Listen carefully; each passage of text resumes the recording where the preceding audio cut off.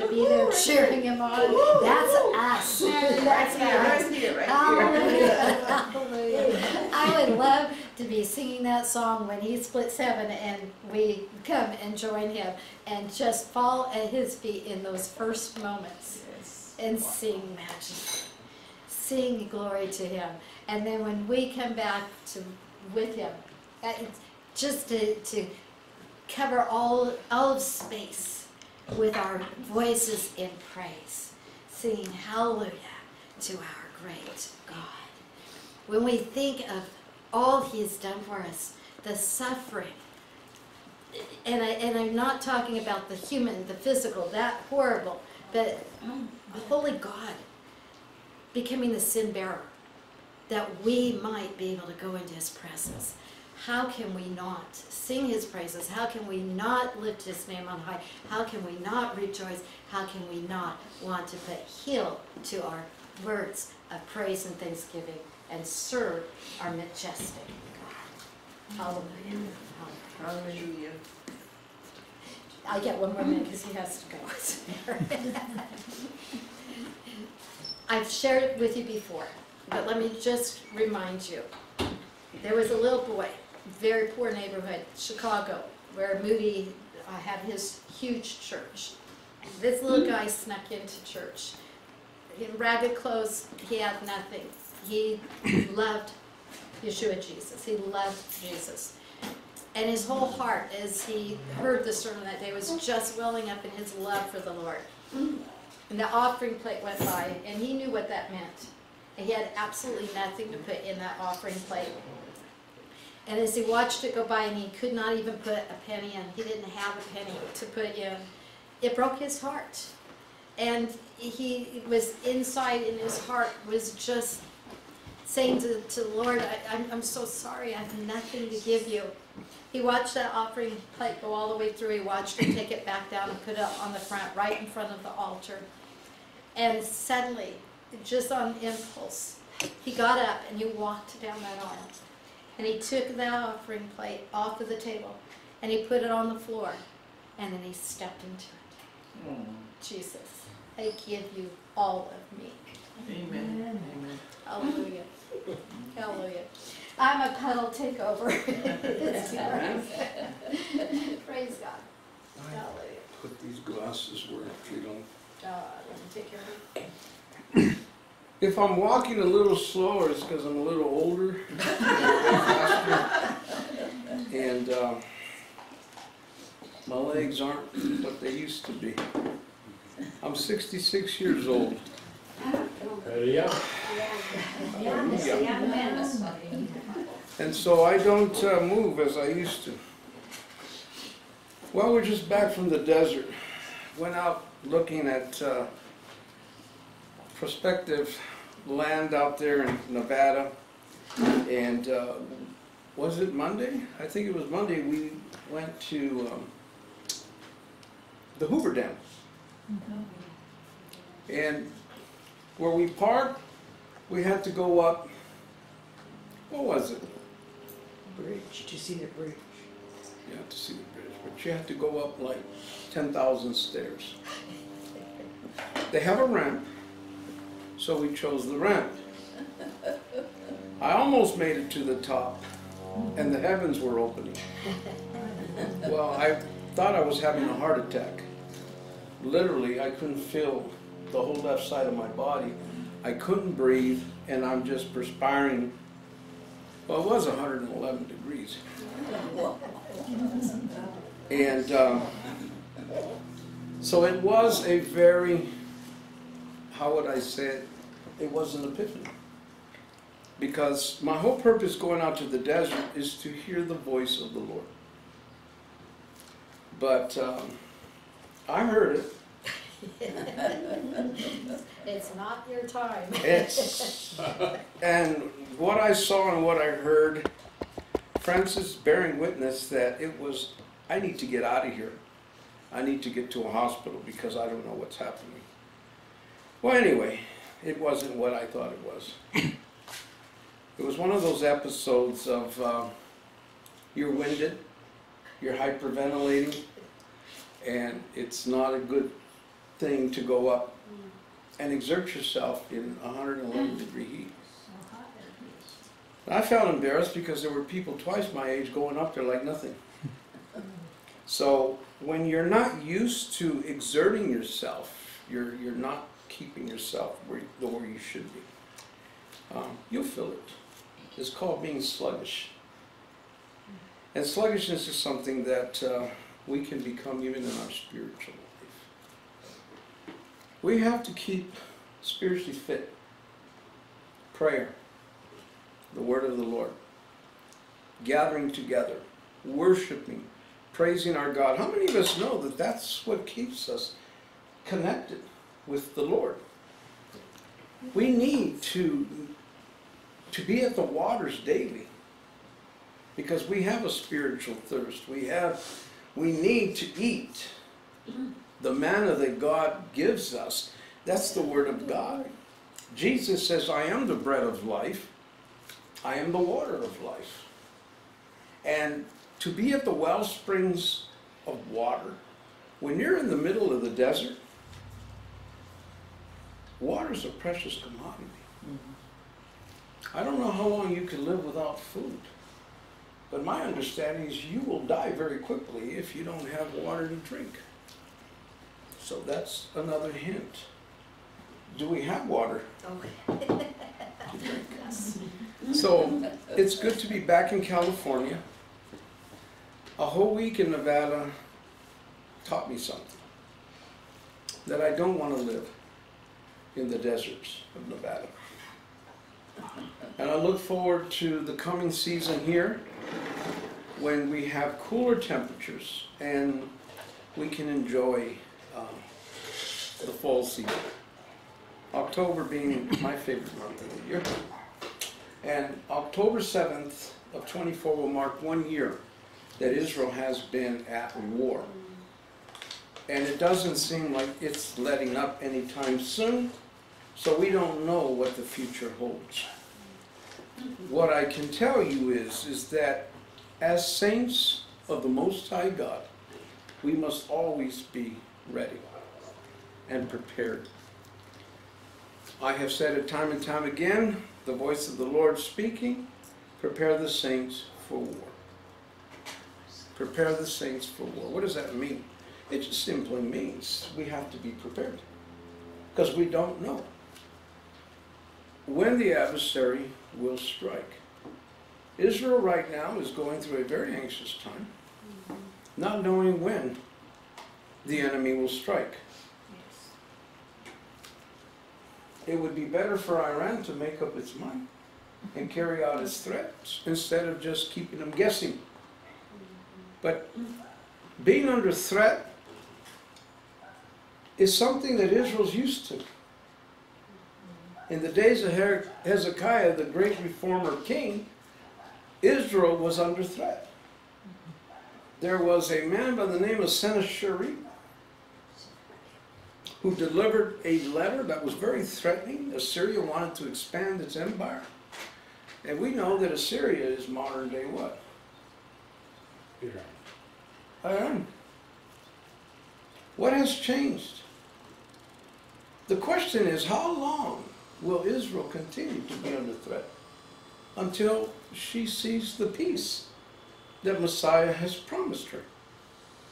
Are we not looking forward to that age of peace we call the age of the Messiah, the Messianic age? And who is looking forward to the coming of the Mashiach?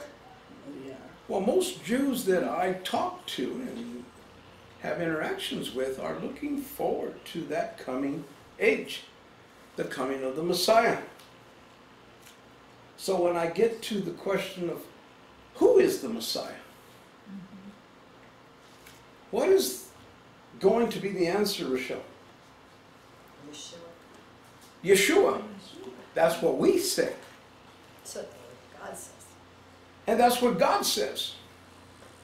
But what do the Jewish scribes say? And that's what we're going to be discussing this morning. What do the scribes say? What have they been saying about the coming Messiah. Because you see, the Jews have been waiting for their Messiah long before there was a Christian church. You see, the whole idea of Messiah didn't begin with Christianity 2,000 years ago. Matter of fact, Israel has been looking for the coming of the Messiah that had been promised thousands of years before there was a church. So I got news for Christians. The Jews have been waiting a long time for the coming of the Messiah. And what will be the sign of his coming and the end of the age? Have not the Jewish people been asking that question for thousands of years? Yes. So this morning I'm going to introduce you to one Jewish man that we read about. His name is Matthew. And I believe Matthew was a Levite because he wrote a gospel and he wrote it specifically to what group of people, Rochelle? His Jewish brother. His Jewish brothers. Mm. And we are Immanuel Israel, and we are preaching and teaching to who? To all the Gentile Christians. Is that what we do? What do we do? To the Jew first. We to the Jew. Because the Gentiles have got hundreds of thousands of churches all over the world preaching the gospel to them. How many churches are preaching the gospel to the Jews? so I ask for no forgiveness, being zealous for the mission that we've been called to, to the Jew. to the Jew. What a privilege. What a privilege it is to take the gospel to the Jew. Because we always ask, well, what about the Gentiles? Well, the Gentiles have had 2,000 years of gospel and hundreds of thousands of ministries rising up every year taking the gospel to the Gentiles. But what about the Jew? So, to the Jew. and that was the epiphany that I had in the desert. You see, because when you are ready to pass out from the desert heat, how much higher do I have to climb, Lord? And when you think you're near death and you see the brightness, it must have been the desert heat. And your heart is palpitating, palpitating, and you are just pouring, pouring, pouring, pouring. You're hyperventilating. You're thinking to yourself, at any moment, I could be standing in the presence of the Lord. And at that moment, I thought to myself, I'm not ready. Because our ministry has not fulfilled its mission to the Jewish people. So, like Hezekiah, he was given 15 years, an extension of life. Extra. Bonus. So here's the question, Immanuel. What will we do with an extra 15 years? What will we do with that? What can happen in the next 15 years? But God has revealed it to us in His Word that these perilous times are coming. Matter of fact, the scripture says that men will be lovers of themselves, lovers of money, lovers of pleasure rather than lovers of God. And if any of you have ever been to Las Vegas, you're right in the midst of it. It's everywhere.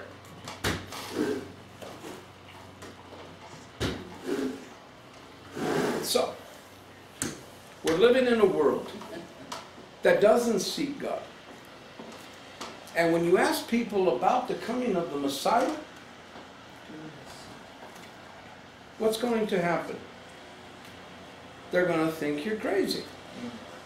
Because the majority of the world doesn't believe that your God and my God, our God, is God.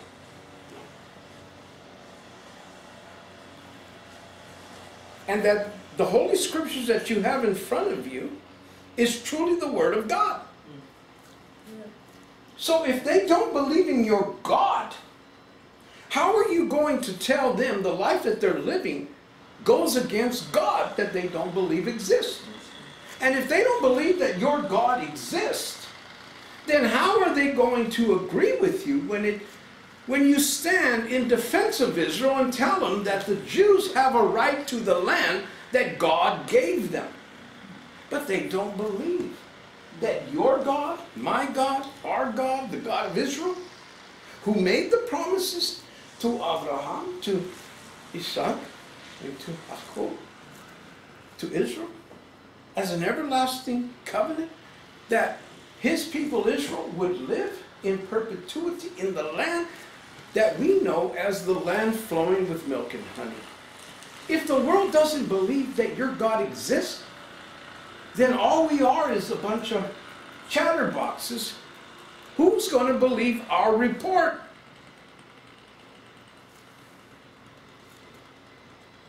Just because you believe in Jesus doesn't mean they believe in Jesus.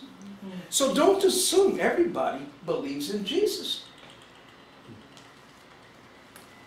The worst thing that we could do as Christians is go to the Jewish people shoving Jesus down their throats and judging them because is it a sin not to believe in Jesus? That's a question. Yes, It is a sin yes. not to believe that Jesus is the Messiah. That means that every Jewish person, men, women, and children, right now on this planet, if they don't believe in Jesus as the Messiah, then they're living their lives right now in sin. And what is the future of sinners? Will they live or will they die? So look at every Jewish person that you come in contact with. If they don't believe in Jesus, their future is not life, it is death. They are not living under the blessings of God, they are actually living under the curse. Mm-hmm. That is the gospel truth. And so, with that having been said, let us go to Mark's gospel. Now, why do we want to go to Mark's gospel to learn about Matthew?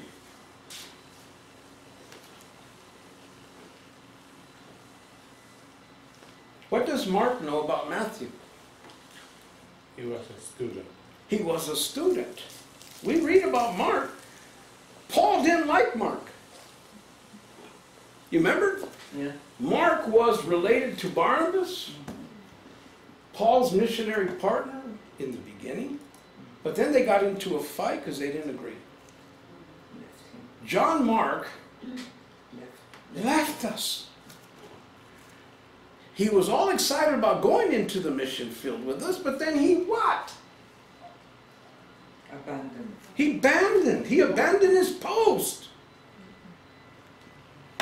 Who signs up for missionary work and then turns around and abandons that? That's like going into the military and refusing to go to war. Right? You enlisted, right? And you said, Nope, I don't like where I'm being sent. There's a war going on out there. I had a different take on military. So I thought I was going to get stationed in San Diego and get to come home on weekends and be with my mom and dad and be in uniform, but sti- and then go to work Monday through Friday come home. I had no idea they were going to ship me to the Middle East where there was conflict going on. Are those real missiles being shot? What are we doing out here? That's like most Christians that want to follow Jesus with the condition that we don't go into the tribulation period. Oh, it's getting quiet in here. I'll follow you, Jesus, wherever you send me, as long as you don't send me where? The war zone. To the Jewish people.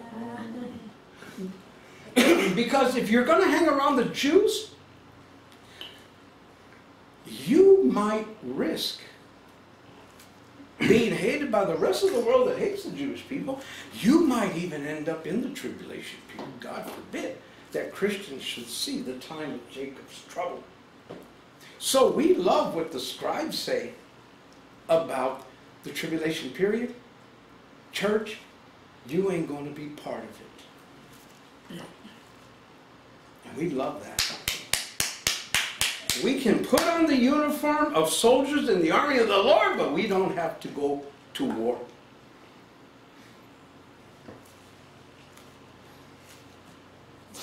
Because Jesus is going to pull his armies out of the world before the time of Jacob's trouble starts. When the Jewish people need more hope in the Messiah, the Messiah is going to bail out of the planet and take his church with him and leave the Jews to fend for themselves.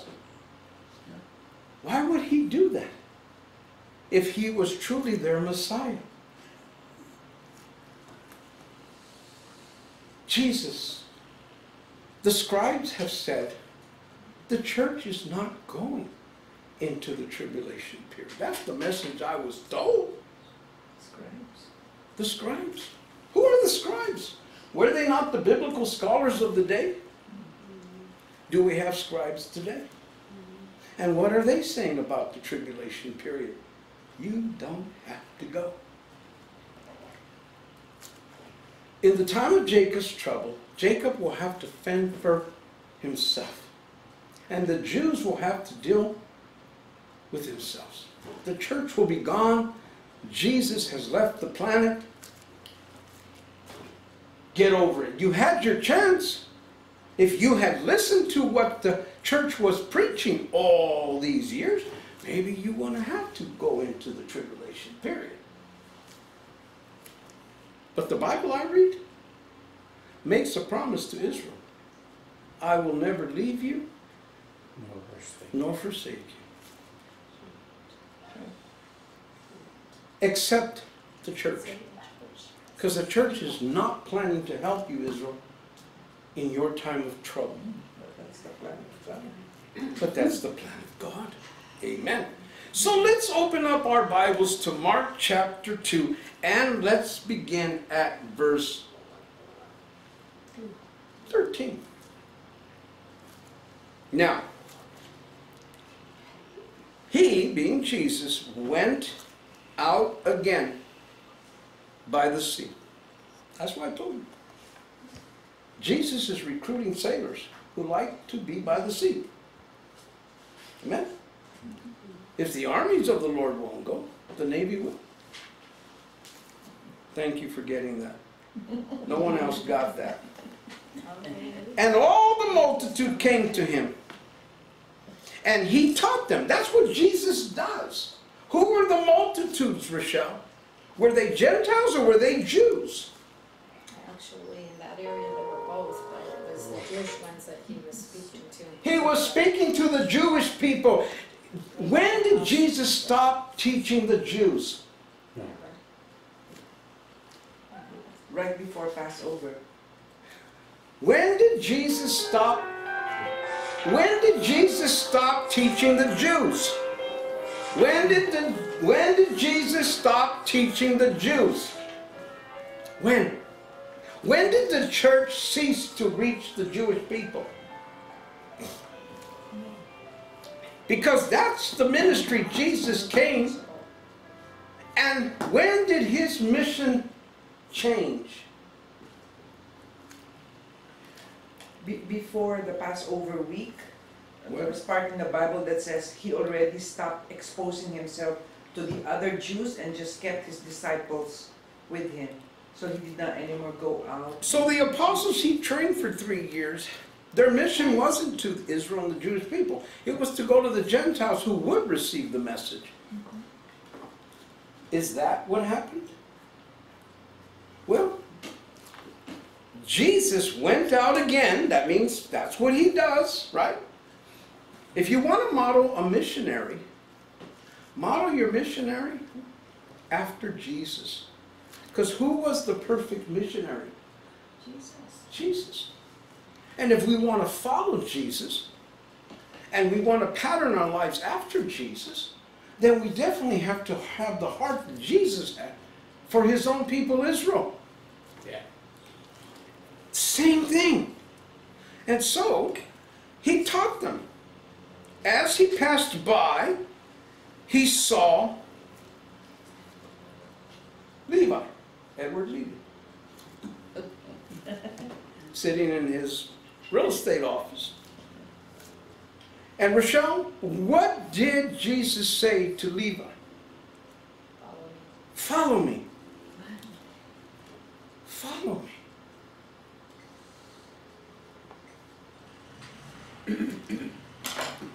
Does the scripture say that Levi says, Well, Lord, right now I'm working, I'm collecting taxes. April 15th is coming very quickly, and I just, I'm too busy. How many Christians say that to the Lord? Is the Lord calling you to be a missionary? And what should be our response when we hear Jesus calling? Hmm? Hineni? And what does that mean? Here I am, send me. Here I am, send me. And Jesus turns around and says, I'm going to send you to my people Israel. Oh, no, I won't go. You can send me there, anywhere else, but I don't want to go to them. Is that what we're supposed to do in response to his call? Leave. What does the scripture say was his response? So he arose and followed him. That's what he did. He arose and he followed him. Wow, that must have been one experience of a day to just go to your office one morning, be about your work, and then all of a sudden here comes Jesus, and Jesus says, Follow me, and you just get up and you walk off the job and you follow Jesus. Is that what Matthew did? Yep. No. No? He followed him. And the scripture goes on to say this now it happened as he was dining in Levi's house. Oh my, now, now, not only is he following Jesus, but he's inviting Jesus into his house.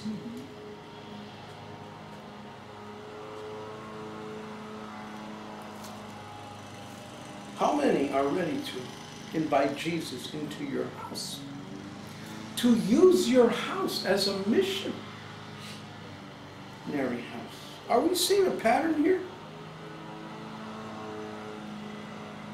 You see, this is an example of a missionary house where the people can be gathered and be taught.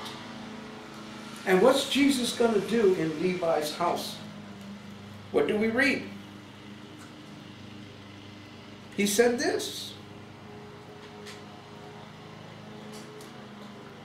He was dining in Levi's house that many tax collectors and sinners also sat together with Jesus and his disciples, for there were many, and they followed him. Wait a minute. What kind of man was Matthew Levi? The tax collector. He was a tax collector. What is it about tax collectors we read about in the Holy Scriptures? How dare you collect taxes for Rome? We like RIS. Well, yeah, yeah, We don't let IRS agents in our house. I spent many years preparing tax returns for individuals and small businesses, and the last thing you wanted was to have to deal with the IRS. File extensions.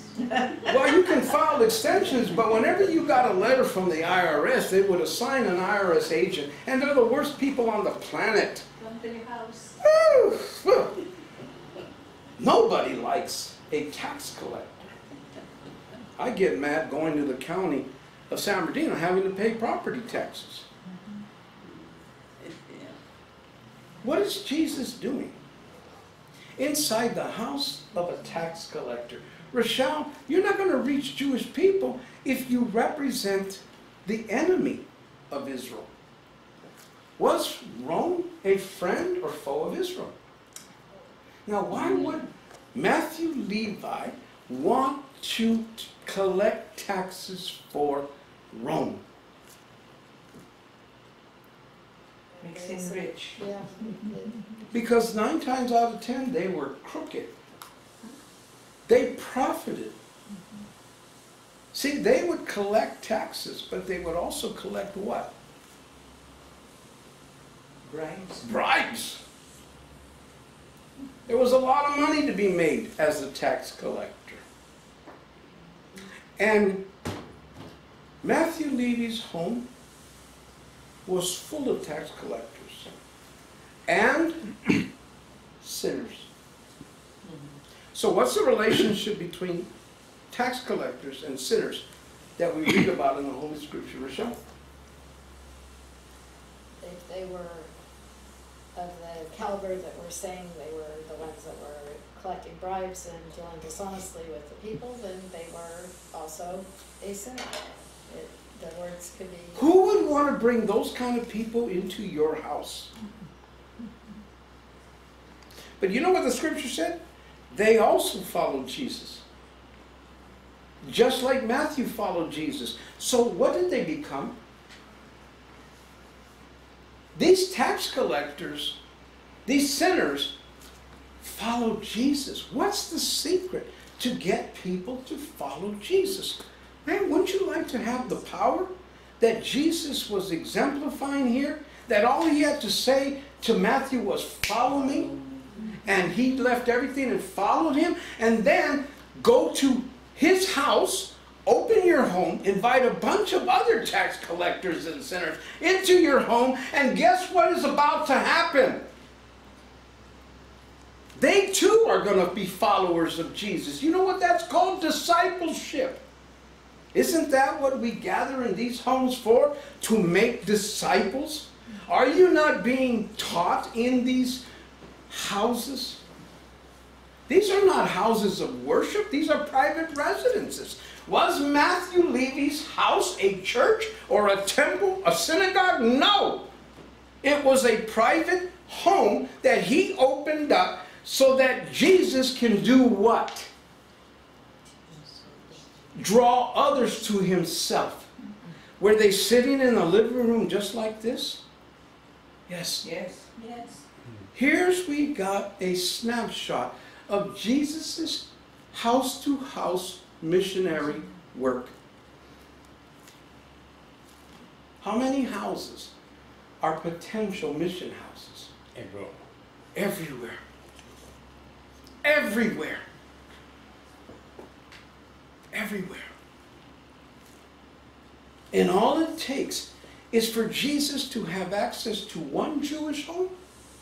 Will that open up the possibility for other Jewish people to get saved in that home? Isn't that what just happened in this right here? Because what compelled them to want to follow Jesus?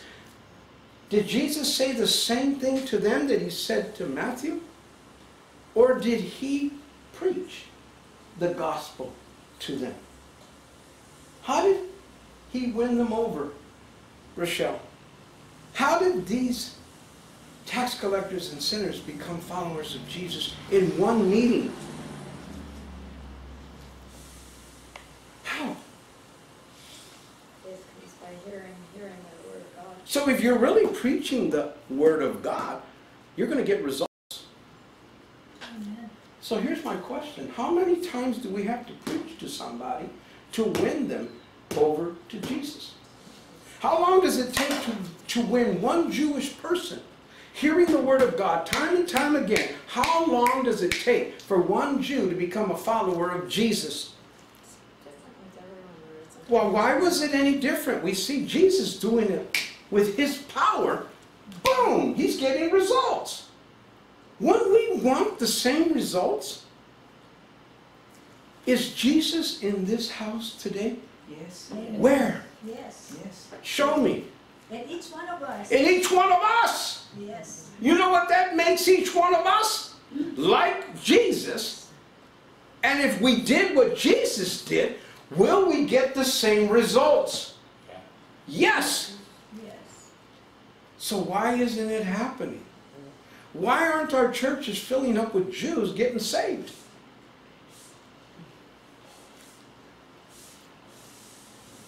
Because the church members aren't doing Jewish missionary work.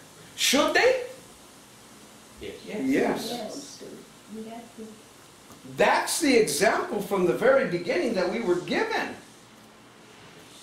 If we really are followers of Jesus, then we would be doing what Jesus was doing during his missionary days on earth.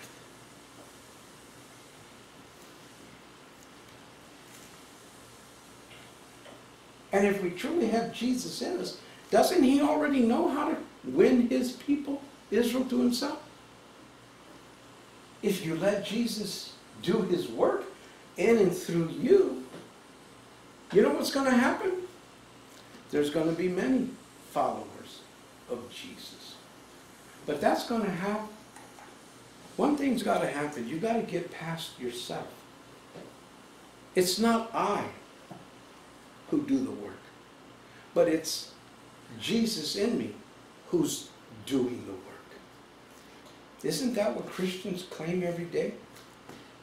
I do not live, but it's Christ who lives in me. And the life that I now live in the flesh, I live by faith in the Son of God who, who died and gave himself for me. See, Jesus is giving you a great example of how missionary work works.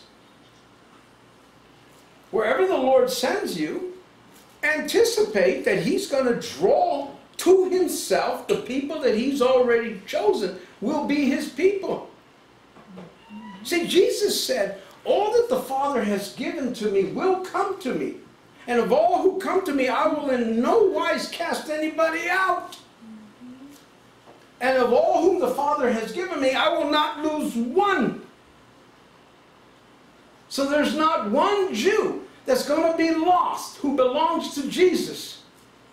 So the question is when is it the responsibility of the church to reach the Jewish people?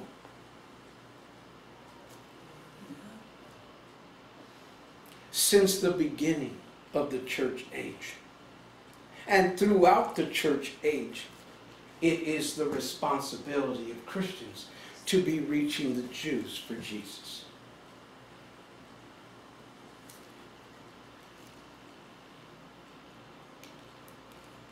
Now, it happened.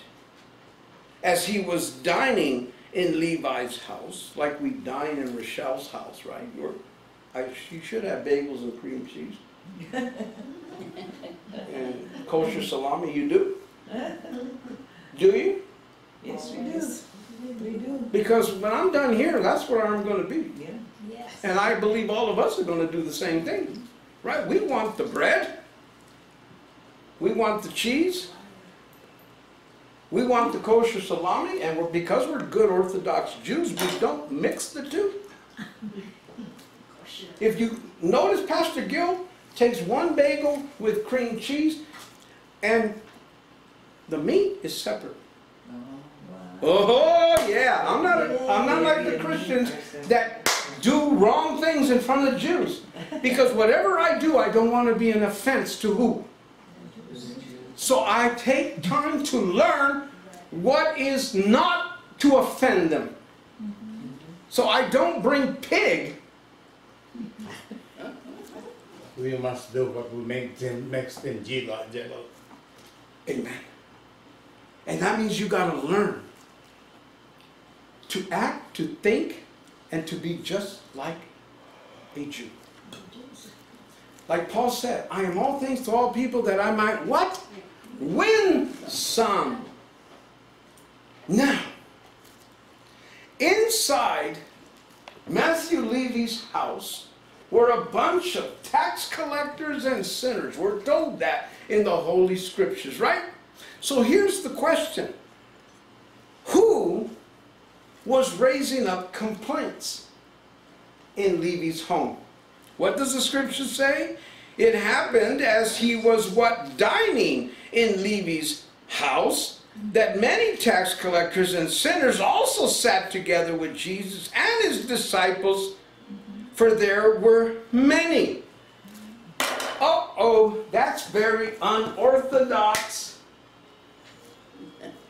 Orthodox Jews will not sit down and eat with you if you are a Gentile.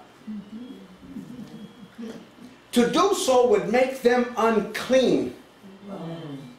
They will not even shake your hand because they're not going to touch you are uncircumcised, unclean Gentiles.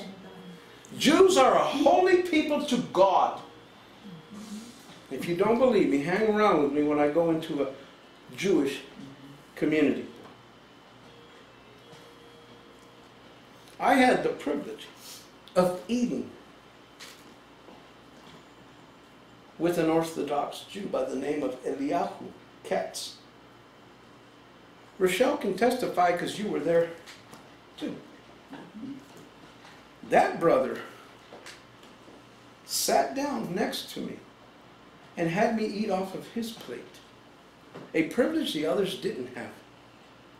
Because you want to know why? They were not kosher. Mm-hmm.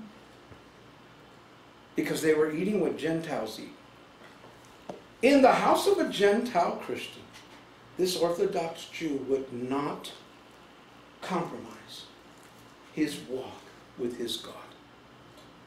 He would maintain kosher holiness. He ate on separate plates, separate silverware, and food that was from a kosher place. So they don't eat like the rest of the Gentiles eat.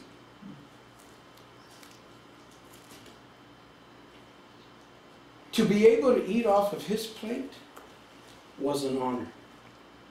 Because what he's saying to me, you are me.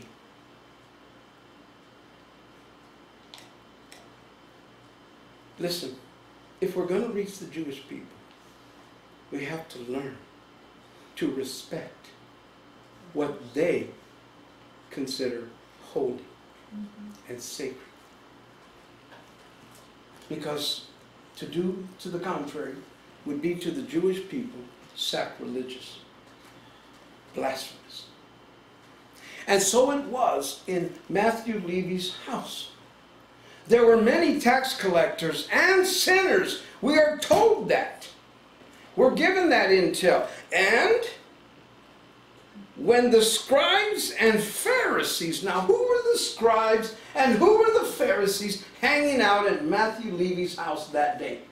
The religious leaders. The religious leaders, the Orthodox Jews, the ones that are looking at you and studying you and observing you. Because why? They strive to walk in strict obedience to the Torah. And for the scribes and the Pharisees, your Torah is not their Torah. Because their Torah is made up of four parts the written, the oral, the oral that has been what? Written, we find in the commentaries. So when you're sitting going over the Holy Scriptures, you have to understand something. They're not looking at the Scripture the way you and I look at Scripture. And see, as missionaries, we need to become familiar how to go over the Holy Scriptures with the Jewish people who don't interpret and understand the Holy Scriptures like you and I interpret and understand the Holy Scriptures. Are you sort of understanding that we have to learn the customs? We have to learn the traditions of the Jewish people for a reason so that we can reach them? Because we're going to be in their homes, we're going to, to be amongst them in, in community centers and in communities where we find the Jewish people, and we can't be thinking like what? The scribes and the Pharisees.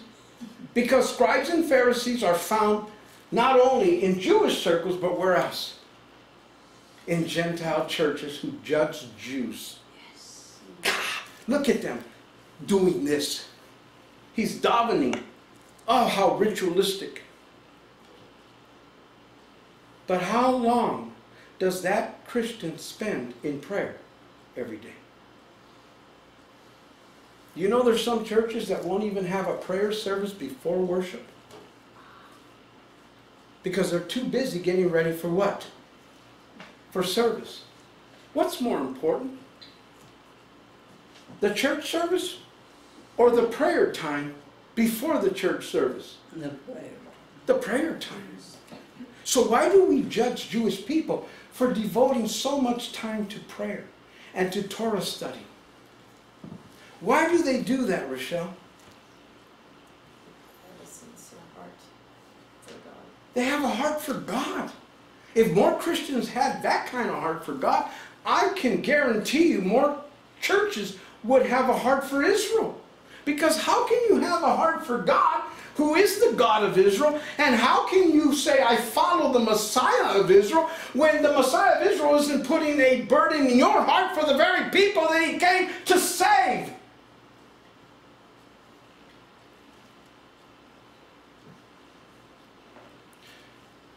But Matthew Levi's house was filled with tax collectors and sinners, but it was also filled with scribes and Pharisees, who were the religious leaders. And what did they observe? Well, it says this. When the scribes and Pharisees saw him eating with the tax collectors and sinners, he is immediately disqualified from being the Jewish Messiah. There's no way a Jewish Messiah would be doing that. So I ask you today, why do people in Jewish circles do not believe that your Jesus is their Messiah?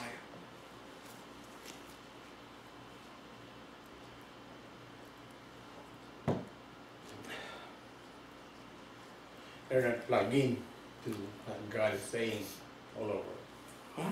They're not plugged in. Scribes and Pharisees devote the majority of their day in prayer and in the study of the Holy Scriptures. You would think that the very Scriptures that speak of Jesus, they would understand that this man sitting here is none other than the Messiah himself. Yes. But they didn't see it. Mm-hmm. They were blinded by their own religious what? Prejudice. Their religious pride. And pride in a religious Christian is no different than pride in an Orthodox Jew. The Orthodox Jew will not sit with a Christian and sup. And a holier than thou Christian will have nothing to do with those Jews.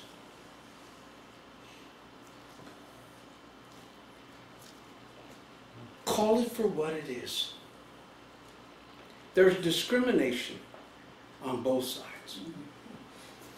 In man Israel, we must never, ever be like that. And so, how is it that he eats and drinks with tax collectors and sinners? How could this be? How dare you, church member, gather in a Jewish home on a Jewish Shabbat and do what you're doing? That's all Jewish stuff. And then come and sit and praise Jesus on Sunday morning, your church, when you have done that the day before. Wow. If you don't think you're being judged, then take a look around you. Have we not invited pastors to come to our Shabbat only to be told, I will not betray my Lord? Whoa! then what you just told me and Rochelle, we are betrayers of the Lord for doing what we do. Is that a true testimony, Rochelle? Unfortunately, yes. And what Jesus and his disciples were experiencing that day was discrimination. They were being judged by the religious leaders of the day. And so, when Jesus heard it, that means they must have been discussing it among themselves.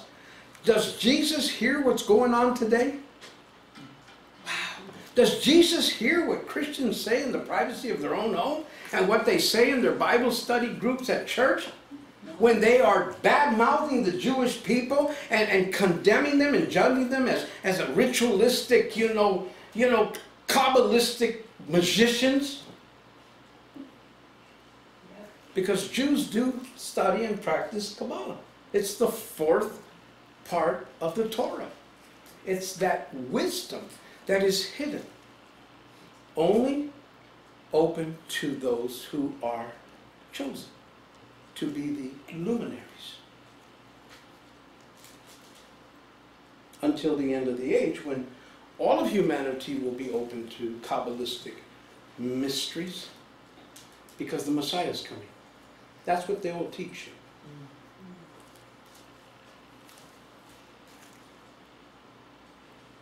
One of the biggest challenges I have in ministering and witnessing to Jews is color.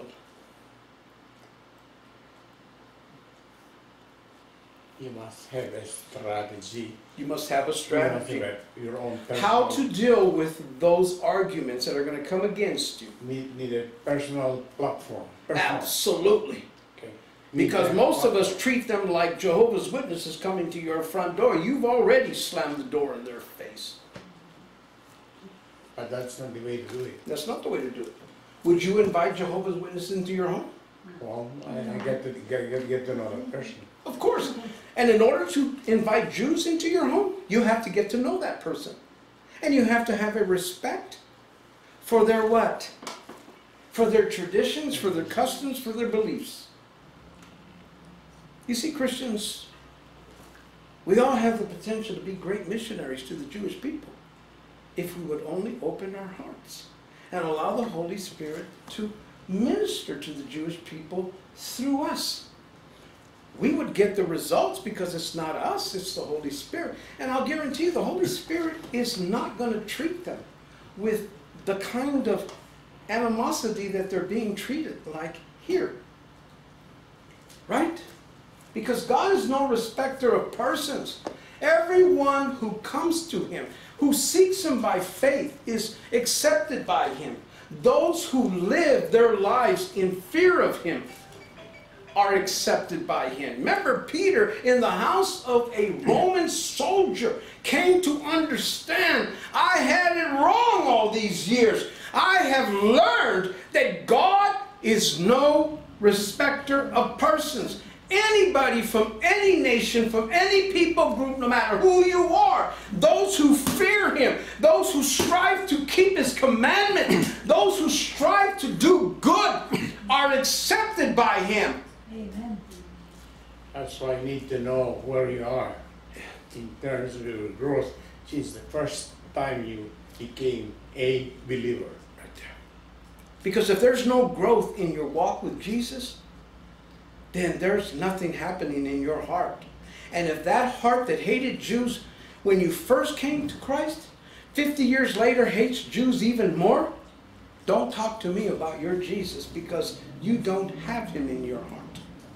Because my Jesus doesn't hate the Jewish people. My God is not anti Semitic, anti Israel, anti Zionist. Amen. Amen.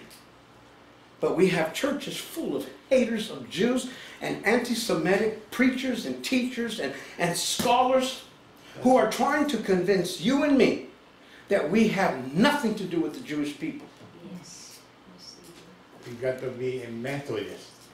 Methodist, Okay. even method. Take the denominations out of here, okay? 'Cause we're not here into denominationalism. Hebrew Christian Witness is a non sectarian, non denominational You got to have your organization. own method in your platform. Well, the methodology is simply this Study the Torah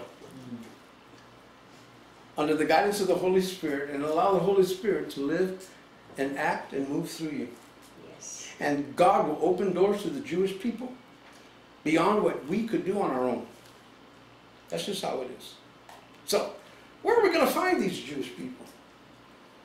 Everywhere. Everywhere. Jesus knew where to find his next disciple. In an office that was manned by one Jewish Levite. Because I believe that's what he was, right? He was a Levite. Why would Jesus target a Levite to be a follower? They have a beginning. there's something about the Levitical priesthood that must occur before the Messiah comes. And so, here we go.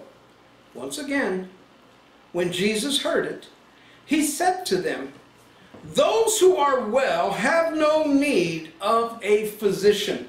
Yes. But those who are sick, you know what that's called? It's called an analogy. We're not talking about sick people here. So why are you bringing up the subject of sickness and the need of physicians? So how is Jesus dealing with these scribes and Pharisees, Rochelle? In an allegorical way. Okay. And you see, Jews learn and study Torah allegorically because there are depths of levels in understanding Torah. You need to be fully aware of that when you're studying or sitting and dialoguing with the Jewish people. See, Christians look at it like this.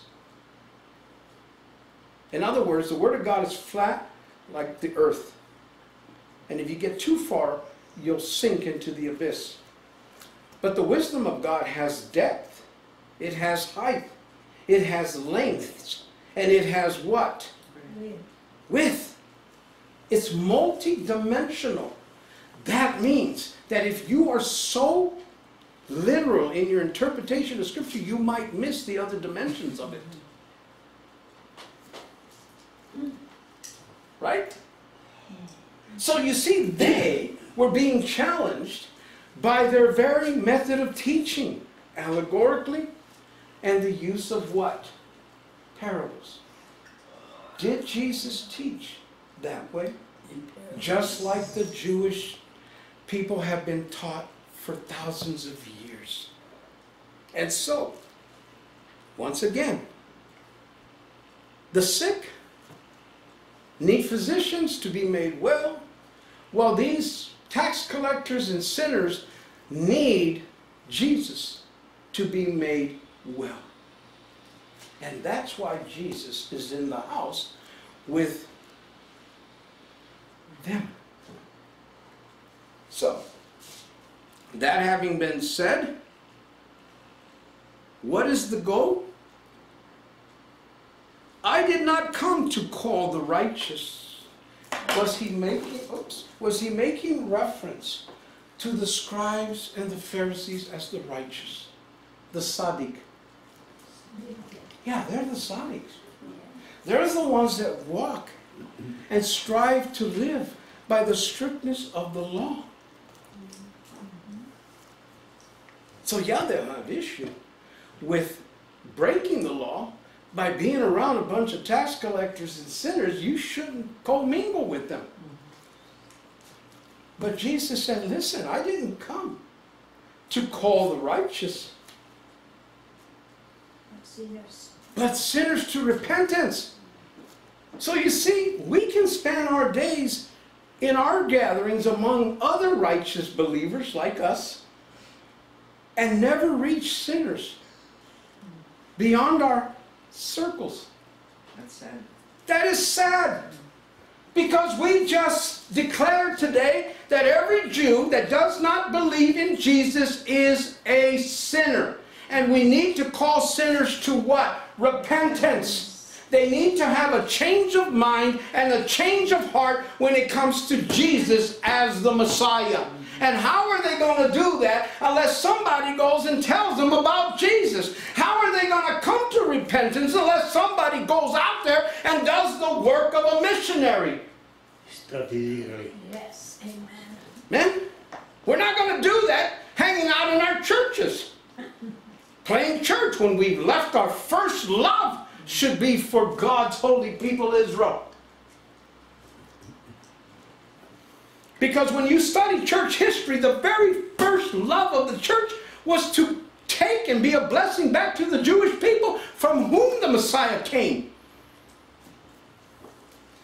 Until Christianity was Romanized and became anti Semitic and anti Jewish.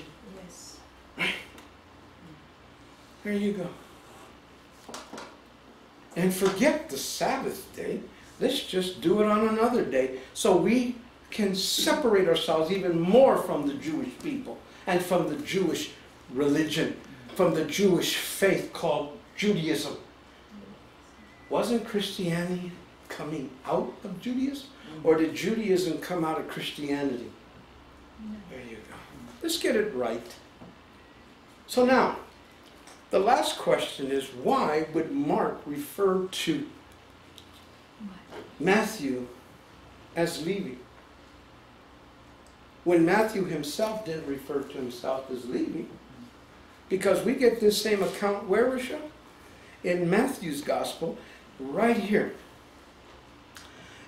In chapter 9 of verse 9, we read, in Matthew's gospel, as Jesus passed on from there, he saw a man named Matthew sitting at the office. And he said to him, Follow me. So he arose and followed him. Now it happened as Jesus sat at the table in the house. Well, Matthew doesn't even specify that it was his house they were sitting in. So Matthew's leaving out a lot of details that Mark included. Why would he do that, Rochelle? Censorship. You don't want to write to the Jewish people that you've been doing unorthodox things. That was in my house.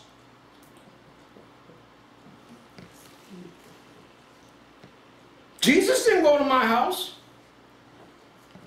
I wasn't there with a house full of tax collectors and sinners. Those kind of people don't hang out in my house. Was Matthew being a little bit more what? Careful Careful. not to be an offense to the Jewish audience that he was writing to. Because Mark wasn't writing to the Jews. Mark was writing to who? Gentiles. Is that sort of being discriminate in how we communicate, depending on who the group that we're communicating the gospel to? Yeah. See, there's not one size fits all. You have to adjust things to the particular people group that you're dealing with as part of our missionary work. See? And so, that could be one consideration. We know that it was Matthew's house, but why did Matthew not refer to himself as Levi? He referred to himself as man, Matthew.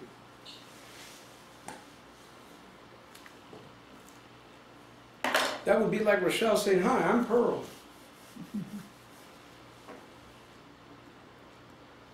It's not Rochelle's oyster, it's the Pearl oyster. Mm-hmm. When you try to get a hold of Rochelle on the phone, and you get her voicemail and says, I'm sorry. Yeah. The pearl is still. The Pearl oyster is what? Shut. So you're just going to have to wait. Well, why doesn't she refer to it as the Rochelle oyster? Because I didn't call Pearl, I called Rochelle. See, we don't refer to ourselves by our last name. So was Mark showing reverence and respect for Matthew? Or is there something significant to referring to him as Levi? Maybe because he comes from the tribe of Levi. Is there any relevance as to what tribe a Jew comes from? in the area of mathematics, it's called the, the, is a given. It's a given? Yes. And what is that given? It does not change everywhere you open a conversation or. Well, I want to know why he omitted some facts. He didn't identify the house as being his own. And he's not referring to himself as Levi, he's referring himself to Matthew. Maybe that's part of a cover up that says, the man that you read about in Mark's gospel, that's not me. Mm-hmm. I'm Matthew. That was Levi. And that's another tax collector in another office, so don't come judging me. Could that be a possibility? We don't know. Yeah, it could be. But anyway, it says this. Many tax collectors and sinners came and sat down with him and his disciples, and when the Pharisees saw it, they said to his disciples, Now we're given an added piece of information. In other words, the Pharisees and the scribes were speaking to the disciples of Jesus, and that's why Jesus heard it. So you see, those concerns were being addressed to who? The disciples. Why didn't they just take it to Jesus directly? The religious leaders of today, when we as disciples of Jesus who follow Jesus and are taking the gospel to the Jewish people, when we come into Jewish circles, do we wear Jesus hats and Jews for Jesus t-shirts and have crosses like crusaders? Is that the way we come into their homes? Is that the way we come into their communities? No! When we go into a Jewish temple or synagogue, what do we wear, Rochelle? The. Regalia of the Jewish people. Why?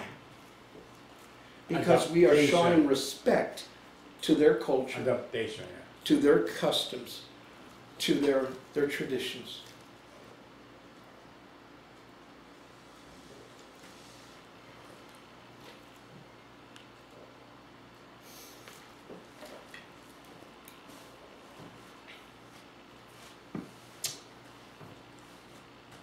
When the Pharisees saw it, they said to his disciples, Why does your teacher, in other words, why does your rabbi eat with tax collectors and sinners. Did they mean that as a compliment? Or were they gravely concerned that somehow this rabbi is not who he claims to be? Because he's doing things in an unorthodox manner.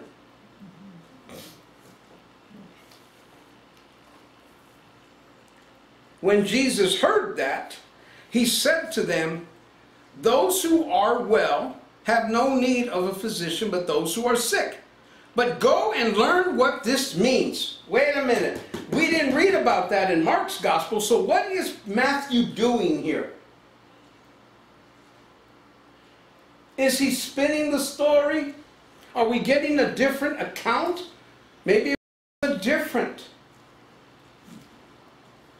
scene. No. What we're reading in Matthew's gospel is this Go and learn what this means. I desire mercy and not sacrifice.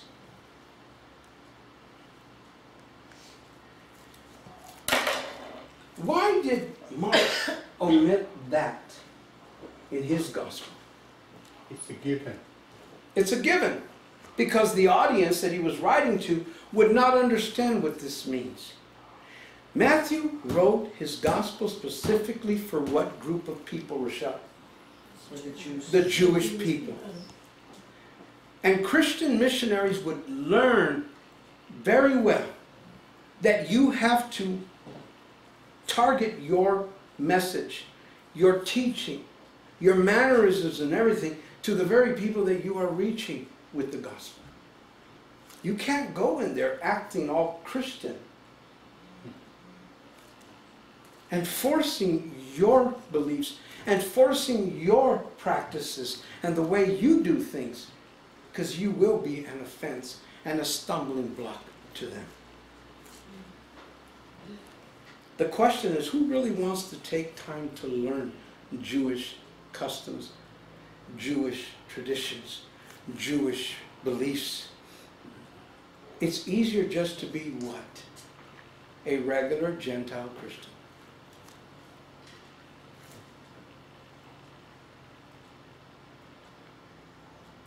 To be a Jewish missionary takes a special type of person who truly has a heart and a burden for Israel and the Jewish people.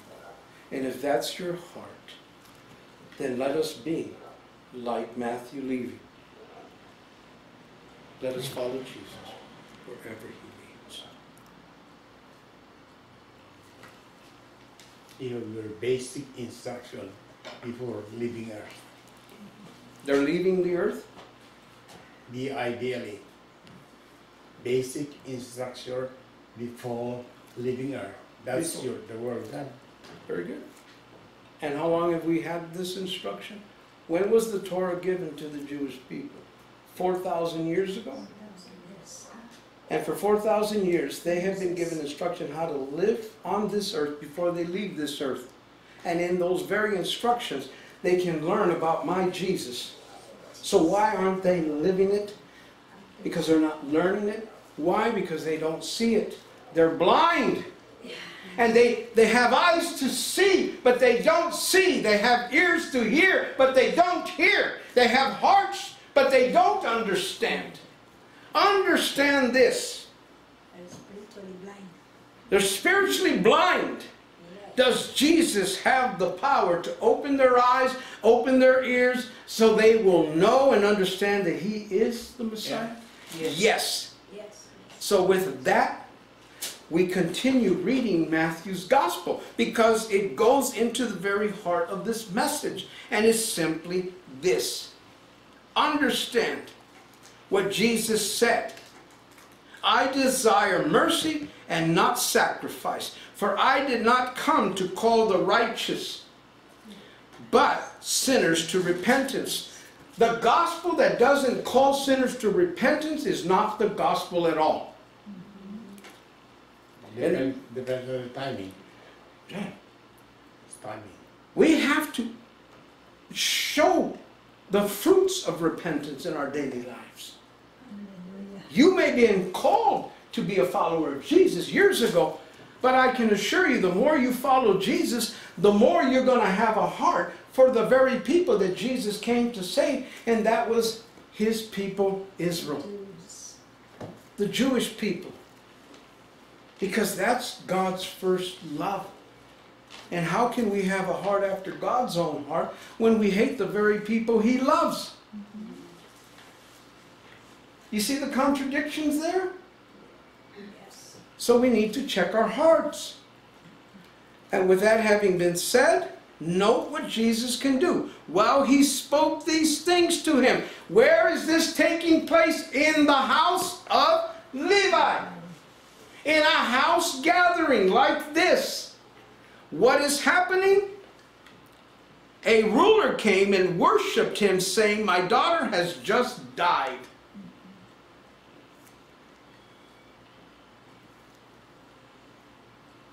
But come, lay your hand on her, and she will live. So Jesus arose and followed him, and so did his disciples. Now, are they leaving the house? Yeah. Yes. What are they going to go do? Shouldn't missionaries do the same thing? There's an urgency. And so, what does Jesus say? And suddenly, right? A woman who had a flow of blood for 12 years came from behind, touched him, the hem of his garment, for she said to herself, If only I may touch his garment, I shall be made well. Whoa, is that Kabbalah? What is so magical about his garment?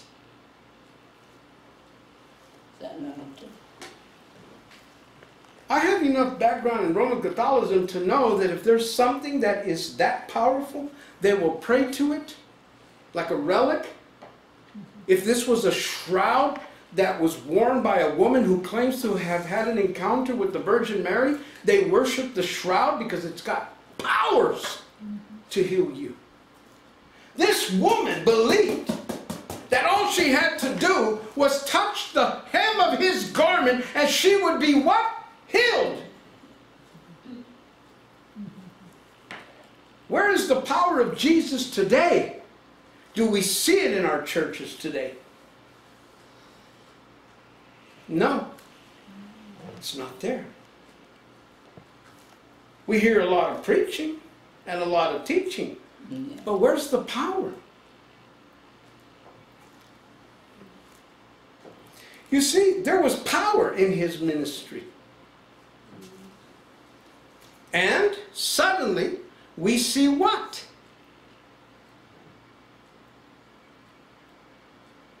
But Jesus turned around and, and when he saw her said, Be of good cheer, daughter, your faith has done what? Made you well.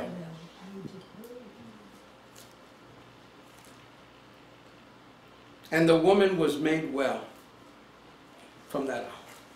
What the physicians couldn't do for 12 years, and she spent all her money paying doctors for healing that never came, right? Like cancer patients. They spend every last dollar they got for nothing but an empty promise of healing that never comes.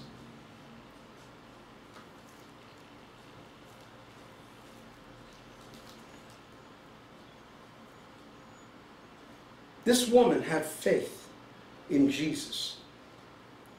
That all I have to do is touch the hem of his garment and the power of God would make her whole.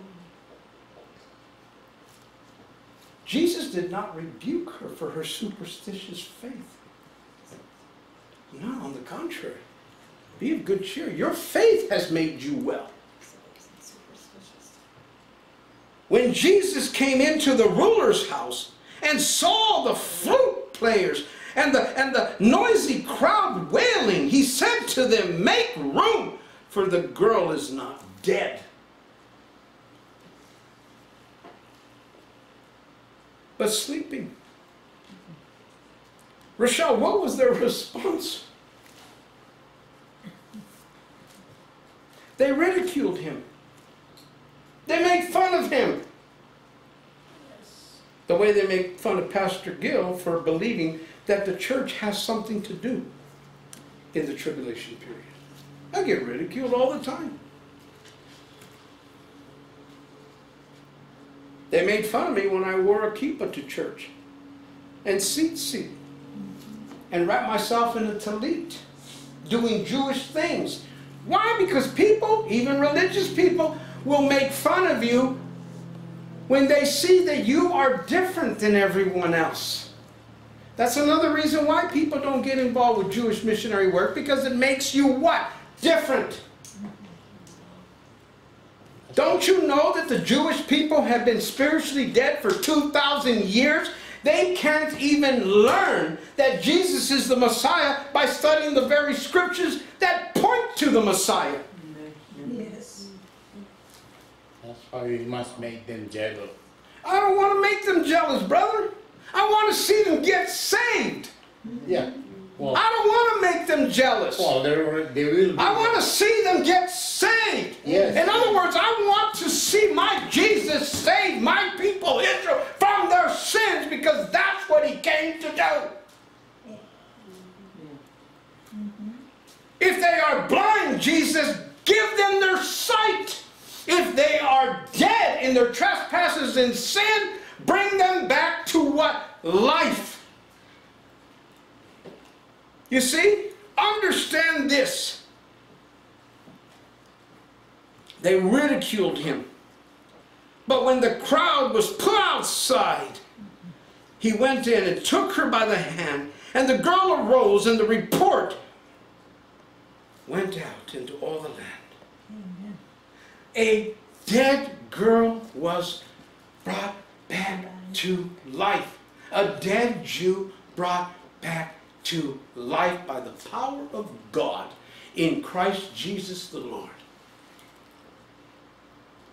a woman's flow of blood ceased. What physicians couldn't do. With all of their medical training, Jesus did by what? Working through the faith of that woman. Yes. And lastly, when Jesus departed from there, two blind men followed him, crying out, saying, Son of David, have mercy on me. In other words, have mercy on us. Two blind Jews followed Jesus. They were blind. And you want to know what Jesus had already declared in the house of Levi? Was simply this I desire mercy and not sacrifice.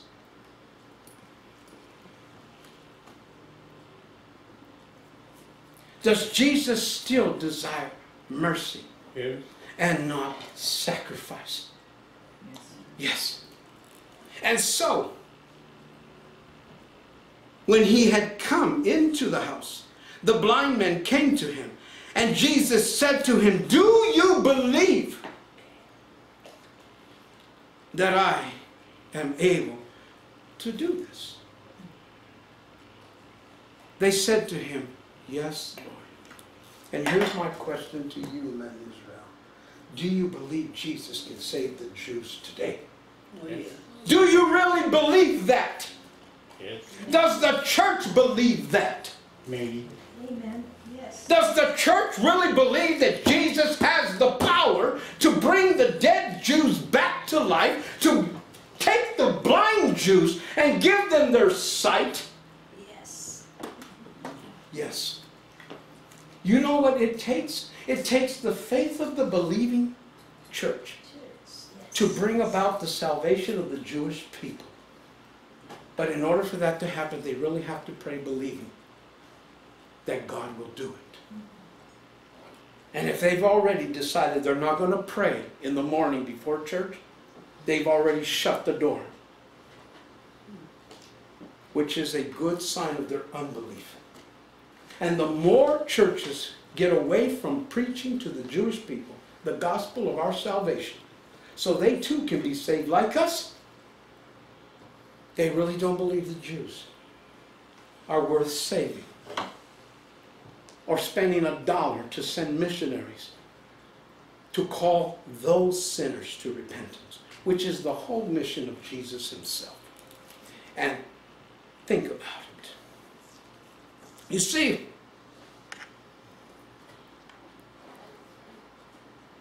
then he touched their eyes, saying, According to your faith, let it be done to you. And their eyes were opened. And Jesus sternly warned them, saying, See that no one knows it. But they had departed. They spread the news about him in all that country. That country is Israel. Every born again believer in Jesus should be spreading the news among the Jewish people, especially in that country. Because you see, when you've had an encounter with Jesus Christ, you cannot shut your mouth about Jesus. You want to tell everybody about Jesus, especially the Jewish people. Their speech was restored, their sight was restored. A dead Jewish girl was brought back to life by the power of Jesus.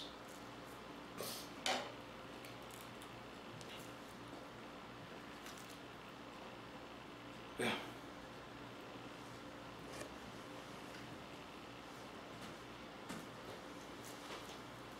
Does Jesus still have the power to work miracles? No. Yeah, but Jesus is in heaven right now. So the only people that the world can see any evidence of Jesus is in the disciples who claim to know him and be followers of him.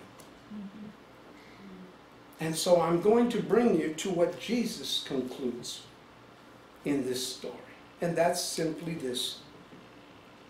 Then Jesus went about all the cities and villages, teaching in their synagogues, preaching the gospel of the kingdom, and healing every sickness and every disease among the people.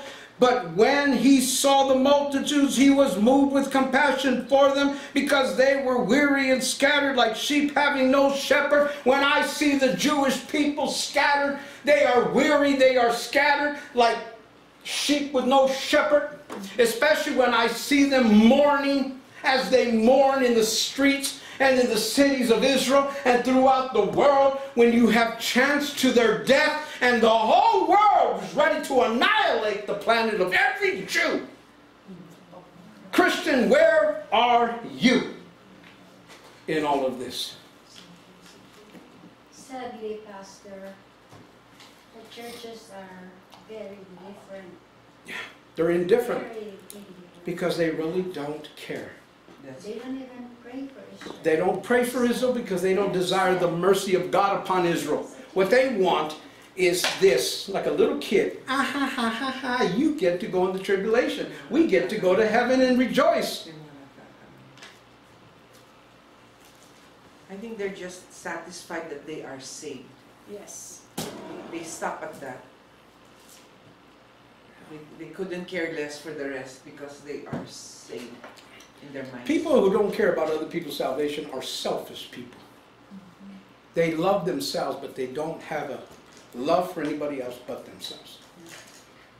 They don't even talk about Israel churches. Of course not. And that's why we're having this message. You see, what is Jesus' desire? What is in the heart of our King? But that more people would go out and do what?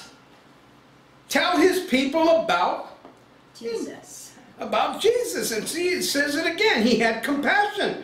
And you see, then he said to his disciples, The harvest truly is plentiful, but the laborers are few. Therefore, do what? Pray the Lord of the harvest that he will do what? Send. Send out those Jewish missionaries. That's what we must do, man Israel. Pray the Lord of the harvest that he will put compassion in the hearts of those Gentile Christians, sitting in those churches, complacent, self-soothed in their own what?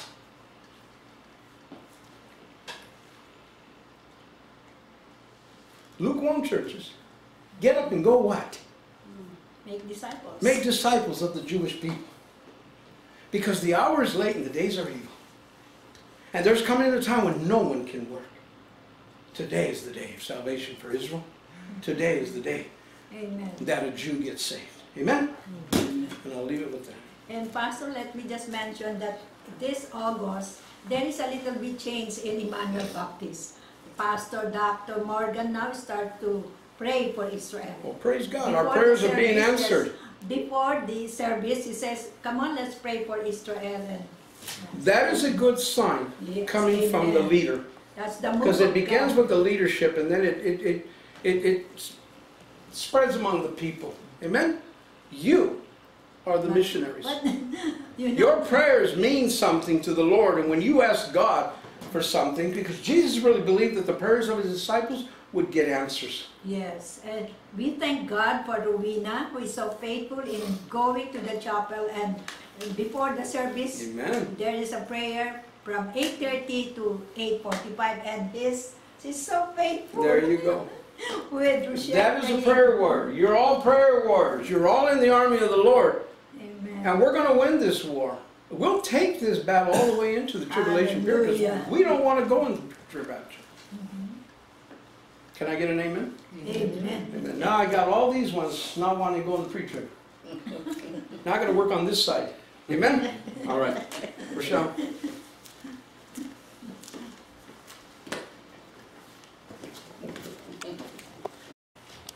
ignoring the jabs, I really bring us back to the Word of God. How lovely on the mountains are the feet of him who brings good news, who announces shalom, and brings good news of happiness, mm-hmm. who announces salvation, and says to Zion, Your God reigns. Amen. Amen. Amen. Majesty. Majesty. Let us exalt the name of Yeshua Jesus. And let us pray for more hearts to be soft and to be tender, because sadly, the scripture tells us that they will stumble at the stone. He is the rock of offense. But they need to come to know and understand He is the rock that is their foundation. He is the rock that brought them the living waters. He is the rock of their salvation, as the psalmist declares. Let's even pray now for hearts and eyes to be opened. Sadly, it is a horrendous time in Israel. But out of this continuing tragedy, they're listening. Because when you're hurting, you're more open to hear. It's a strategic time to pray. And I'll make it very personal for those of you who know Eliyahu. He was the one that Pastor Gil brought up today. And in this last week, if you heard the news of the man who lost his life, that was Eliyahu's friend. Lives in Katamon with Eliyahu. Eliyahu heard the word of God here. It was presented to him who his Messiah was. I believe to this day he struggles with that message. And at a time when he's buried his friend, I really believe he's contemplating life and death and what matters. His friend was killed by a coworker mm-hmm. who had permission to be there and had presented himself as a friend. This is the lie of Satan. He's coming in camouflage, and the eyes are deceived. We've got to pray that the veil of blindness be removed, the eyes be open. And at a time like this, keep Eliyahu mm-hmm. in your prayers. Because I pray it's, it's this that will be the final clincher where he will come into that saving faith. That faith that is what the woman had mm-hmm. when she wanted to touch the robe of the priestly garments. It was not Kabbalah. She had the right faith. That's why Yeshua could command her faith. And it made her whole in more ways than just the physical. That's the power of our God. Let's pray. Mm-hmm. The Lord God of Israel, our hearts do break for our beloved Jewish brethren who don't know, who don't hear, who do not have an ear open, they're not listening. They're not hearing Shema Yisrael, Adonai Eloheinu, Adonai Echad. Hear, O Israel, the Lord our God, the Lord is one. O Lord, Hineni, hear my, send me, send us, send Immanuel Israel. Lord, you've given us the words of life, you've given us the words of truth, you've given us the hope of Israel, you've given us you, Messiah, the Savior, Yeshua HaMashiach. O Lord, let us be your feet that are spreading the good news on the mountains, that are speaking salvation, and that are bringing the truth to the Eliyahus of this mm-hmm. world. Yes. And Lord, at a time when he is personally hurting, at a time when death has come so close to him once again, Lord, his life has been spared. Perhaps because there's yet a day when he will give his life to you. And we plead for that. We stand in that gap as intercessors, Yes. and we plead for that yes, at this very moment. And not just for Eliyahu alone, but for all of his brethren. Our, our hearts, Lord, they just ache. You have given us your love that we can love others. Lord, let them see in us your good works. See in us the Father in heaven, that it will draw them to their very own God, the God of Abraham, Isaac, and Yaakov, the God of Abraham, Isaac, and Jacob. Oh Lord, touch them even now. Touch them at this moment. Touch them as they read the same scriptures that we're studying right Yes. now. Yes. Lord, you're in those very scriptures. You're on those very pages. Let them not discuss what the rabbis say, but let them discuss what you say. Faith comes by hearing, hearing by the word of God. Lord, turn them back to the word of God. Turn them back to what gives them life. Turn them back mm. to the hope of Israel. May they come to understand Messiah has come and Messiah is coming again. Yes. Hallelujah. We praise you. We know you're coming in your perfect timing. And we're not here to argue that timing, mm. Lord, but while we are here, let us, by faith, let us work for you. Let us be your hands, your feet, and your voice. Yes. Let us cry out in the wilderness. Let us shout it from the mountaintops. And let us walk through the valley of the shadow of death Yes. with our beloved Israel. Lord God, we desire this to reach the Gentiles also. It is not exclusive. And we praise and thank you for that. You died for the entire world. For God so loved the world. That as you've given us this view to go to the Jew first and also to the Gentile, we plead and we pray, Lord. Let us bring one more Jewish one. Let us bring one more and in bring that one. Let a dear Gentile come along too, that all might be saved. Yes. Lord. Hear our cries. Take us mold us, fill us, and pour us out in service to you, that you might be glorified and one more might be saved. Oh, we give it to you, not in, in our power, not in our might, not thinking that we have anything to offer, but in the power of the Ruach HaKodesh, whom you placed within us, Lord, let it be so. And we say, Amen. Amen. Amen. Amen. Remember that word is far more than the period at the end of the sentence. That declaration, God, King, He is righteous and made all of Israel